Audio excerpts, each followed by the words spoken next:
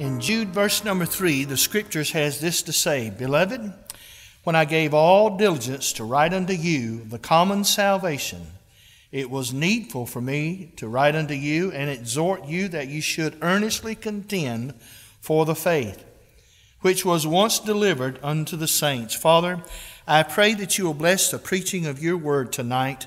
Lift up the Lord Jesus Christ before us. Speak to all of our hearts. In his name we pray. Amen. In this simple verse of scripture, most all preachers that I've ever heard zero in on the latter part of this verse where he is exhorting them to earnestly contend for the faith. But tonight, the Lord has impressed on me to deal with the opening part of the verse. And I want you to notice these words for a few minutes of time tonight because they're very important and they encourage us in the Lord Jesus. He opens up with the word beloved. When you look at that word, ladies and gentlemen, it's pretty obvious that there was a close connection that Jude had with these other believers that he's writing to. When I look at that word, it indicates clearly to me what needs to be in our churches and our lives tonight. Every single person in this room, you ought to be close to those brothers and sisters of yours in the faith. Now, there may be some differences of opinion, personalities, and things of this nature. But if we are truly the children of God, we ought to be close to one another in that realm. Now, notice what he does in this verse. He said, When I gave all diligence, I looked up the word diligence. I was concerned about what it really meant. And when I found that word there in the Greek dictionary, I was amazed to see the word that he used to define it. He used the word eagerness.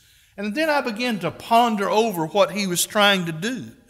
Jude here loved these believers. He believed in what they were doing there. And he was so eager to write to them concerning this salvation in Christ Jesus that they had in common. When he looked at what was going on in this area, he was overwhelmed with excitement and joy. He saw these believers just going through the trenches, being faithful and lifting up the name of Christ. He saw the heartache and the pain and that they were enduring there. And yet they just continued right on doing that. This excited him to the extent that he writes to them and says, In the beginning, I wanted to write to you with unbelievable eagerness on my part to commend you for what I see you're doing. I want to ask you tonight this simple question Are you still eager in the work of the Lord? I'd be honest with you, and I've got to use this message to really convict my own heart. I got home this afternoon and I was so worn out. I mean, I, I went to my study and the Lord had already given me that thought, and I've been dealing with other messages this week and talking with pastors this morning uh, before the services all started. And I tell you, everything in me was just being pulled out. I didn't feel like I had nothing left to give. And when I got home, I, I was uh, informed this morning that Nick was going to video tonight's service. And I got to praying and hoping, Lord, when Nick gets home, let him be as tired as I am. Let, let him say, Pastor, I wanted to video it with all my heart. But I, I had a rough day at, at work today, and I just don't think I could do it. And I shared that with my wife, and she came in about 20 minutes before we had to leave. And uh, she came to the house and she said, in that wonderful, encouraging voice she's got, I am so tired. And boy, that reinforced the tiredness that was in my life. And I shared with her what I'd been thinking. You know, maybe Nick's going to be so tired he's not up to it either. And but when I turned in the driveway down there, I looked up and I saw that little bright blue PT Cruiser. And I said, Deb, he's already here.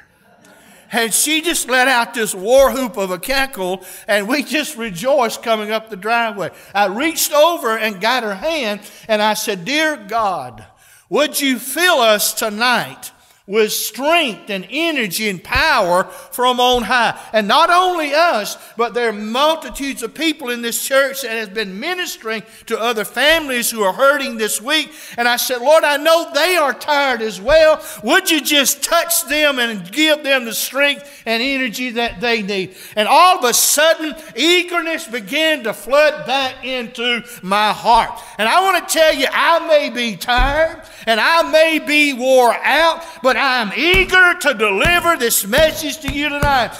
We ought to have the eagerness of God in our soul about what we see going on in the lives of other believers, how they are engaging in the work of God, how they don't seemingly ever wear out or tire down. They just keep going on and on and on. And there's something in their heart that says, Lord, no matter what, I gotta keep going. And that's the kind of people that he's writing to right here. And they encouraged and inspired this great man to pen these verses down. So I want to ask you are you still eager about the work of the Lord? I mean, are you chomping at the bits to just be able to do something for Him?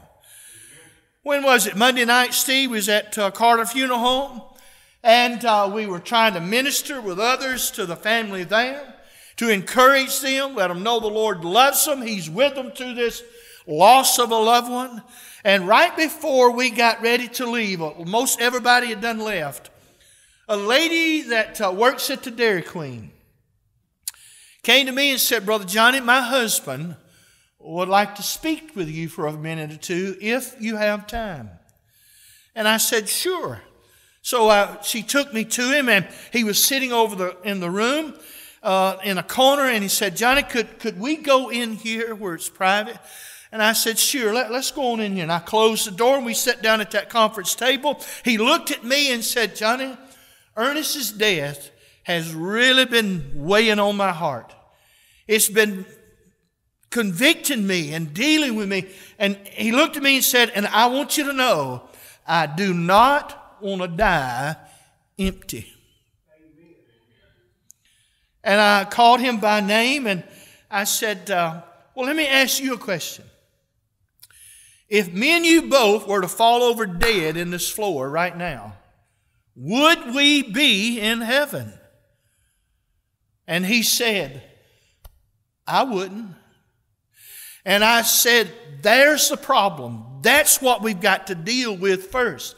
Because he had done told me, he said, I've got so much on my shoulders, it's just weighting me down. He said, and I don't know what to do, I don't know where to turn. And he said, I have no answers to the problems in my life. And I said, the number one problem is your eternal destiny.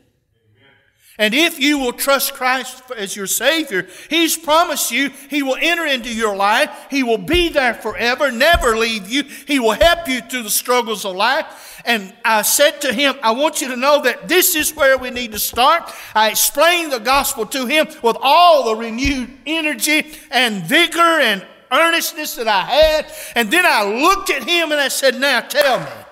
Would you not right now be willing to trust Christ as your Savior? He looked at me without any hesitation and said, Yes, I would. And so we prayed together. He prayed and received Christ as his Savior and called his wife in the room and said, Honey, I just trusted Jesus Christ as my Lord and Savior. Praise God.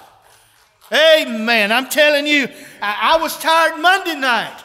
But the Lord gave me the eagerness to go talk to this man. Listen, that's what it's all about. And I pray to God I never lose that. And I hope you don't either. It's like uh, little kids standing in line to get free candy. You know, you know how that, you ever seen that happen? They get so eager, man, they bump one another and, and get closer and closer to the person handing out that candy. And if you're not careful, they'll knock one another out of the line and get in their place to just to move up a little bit. We ought to have that kind of eagerness. And when Jude wrote to them, he said, I wanted to write to you to start with about this salvation that we have in common. This morning, sitting in a pastor's office, he began to share with me what he's been doing for the last 12 months, where he is located now. And he said, Brother Johnny, we finished the study the other day, and he said, I didn't plan it this way. But somehow God just worked it all out. What we're going to do next builds on the very last verse of the book that we just got through preaching, and it's just flowing into it. And we're trying to pull the whole church together to rally around one common thing, and that is Jesus Christ as our Lord and Savior. Amen. And I thought to myself, you may not have planned it that way, but Jesus certainly did. Because he knows the only thing that'll put eagerness back in a church is for himself to be lifted up. And when he's lifted up, he's promised he'd draw all men unto himself. Ladies and gentlemen, listen to me. If you've lost the eagerness of serving Christ, then as the song says, lift your eyes upon Jesus. Look full in his wonderful face. And all the things of this world will grow strangely dim. And that's true. Jude, when he heard of what was going on, man, he just wanted to get in on it. When I see people really serving the Lord, when I see people growing in grace, it just makes me want to get up there beside them and let a little of that rub off on me. Amen. That's excitement. I need that. At 63 years old, I need a lot of things, but I really need excitement back in my heart that I had when I was 20 years of age. I don't know that this old body could stand it, but what a way to go. Amen. Amen. Let me ask you tonight are you still eager to serve? I heard Charles Stanley say one time there are two things he's found that no church ever has enough of he said, one is money. I thought to myself, Dr. Stanley, you're in one of the largest churches in the country. Why is it that y'all don't have enough money? He said, We never have had enough money, and we have never had enough people to serve and fill the vacancies in the church. And I talked with thousands of people in attendance, why don't you? Then I realized that that old principle that says 20% of the people in any given congregation are the ones who do the work. 20%. Whew. What happened to the 80? They lost their eagerness. They lost it. Ladies and gentlemen, listen to me. Don't you realize tonight with me that it is a privilege to be able to serve the Lord? Amen. To just do something for Him and just watch Him bless your life and effort for it. It is a thrill of a lifetime to see Him use us like He does. And, folks, listen if He can use somebody like me, just a knot on the law, think about what He could do with you. If you just let Him put that eagerness back. Oh, Lord, just give me something to do. Who was it in the, the Bible who went to Moses and said, Moses, you promised me that mountain for my inheritance. And he said, Now we're over here, or about to cross over. Then, when they got over there, he reminded Joshua of it and said, Give me that mountain. Now, why didn't he ask for flat land? Why didn't he ask for something to be a whole lot easier? Why did he look at that mountain and say, Man, that's going to be difficult to conquer and whip? Look at the strongholds they probably got in caves in that mountain. But that's what he wanted. That's what old Caleb wanted. And he said, Give me that mountain. I never will forget years ago when Jerry Falwell first went to the church there in Lynchburg, Virginia, the Thomas Road Baptist Church. I remember hearing him in the 70s say that he was so burdened about his community in this town that he went up on the mountain and looked down over Lynchburg and said, God, by faith, I'm claiming this city for Jesus Christ. Today, it's the world's largest Christian school. Ladies and gentlemen, maybe you and I, with eagerness in our heart, ought to read verse 3 and say, Beloved, when I gave all eagerness to write unto you of the common salvation we share, and ask the Lord to put the eagerness back in our heart and guard it, and don't let Satan steal it from us again. It's easy to get discouraged. But I've found in the latter part of my life that it's easy for me to discourage my own self by just looking at all these things around me and saying it's impossible. Let me share this illustration with you. A shoe company sent one of their representatives to a foreign country that was known for going barefoot. He got over there and saw that nobody had shoes. He wrote back and said, Get me home. Nobody over here wears shoes. And so they brought him back. Another young fellow joined that company's ranks and he said, I want to go where the opportunity is great and unprecedented. So they sent him to this country. And he got over there and wrote back and said, Hey, nobody over here wears shoes. Send me everything you got.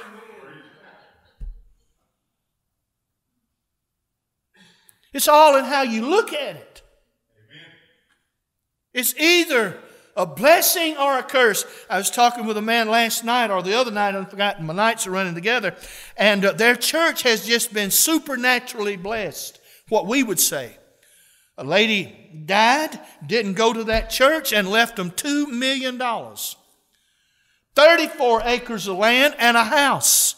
And I was talking with one of the members that used to be one of my members when I was at Bethel, and I asked him about that, and he said, Brother Johnny, there's one or two things that's going to happen.